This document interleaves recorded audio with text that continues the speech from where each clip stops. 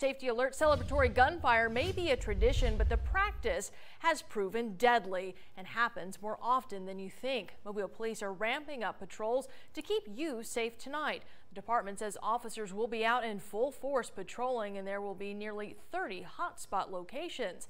NBC 15's Cassie Fambro shows us one place bullets are found even years later. Cassie?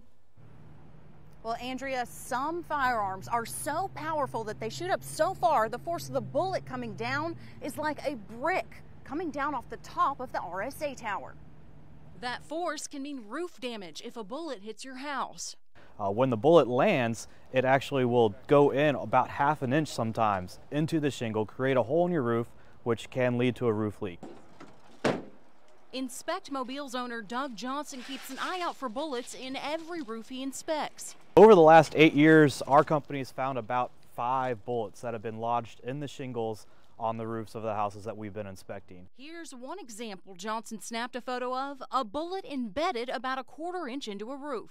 Completely surprised when I found my first bullet in a roof. Finding a bullet made Johnson think of how much worse things could have been. It's caused significant damage, and luckily it was a roof and not something else like a, a person or a pet or a car. That's why Mobile police are on high alert for celebratory gunfire. Don't ask that people don't do that. Don't you know take your weapon and fire them into the air for celebratory reasons during the New Year's, because what goes up must come down. 80% of injuries from celebratory gunfire involve the head or arms, making it potentially deadly as well as illegal. To shoot a gun in city limit is, is illegal. But it happens enough to where inspectors like Johnson know where to look you looking at the granules, you can see where uh, a bullet might have gone into the roof.